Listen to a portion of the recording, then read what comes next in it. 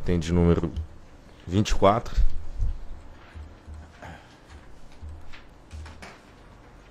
É o processo 703597 de 1973-68.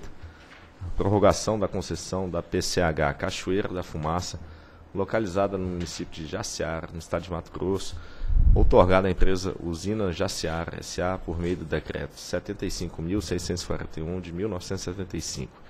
Diretor relator, doutor Julião Coelho.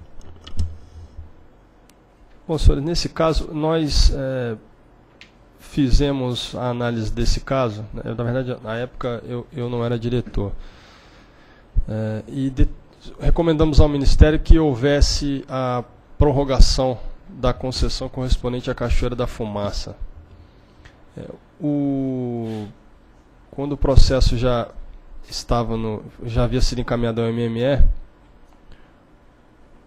o MME determinou que o processo voltasse à agência para que a agência então avaliasse a, a manutenção de sua posição, dado que a Jaciara, titular da outorga, estava em recuperação judicial.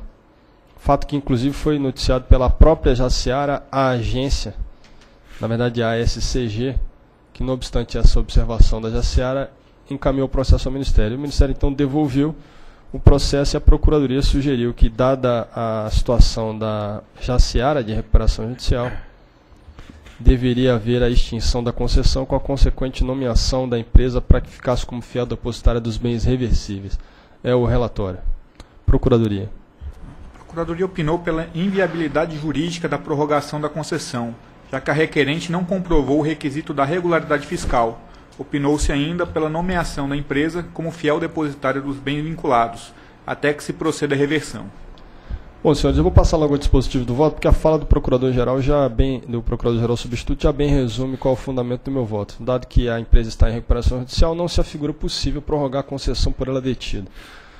Por essas razões, eu voto por encaminhar os autos ao MME com recomendação de indeferimento do pedido formulado pela usina Jaciara S.A. de prorrogação da concessão para explorar a PCH Cachoeira da Fumaça e recomendar ao Ministério que nomeie a usina Jaciara S.A.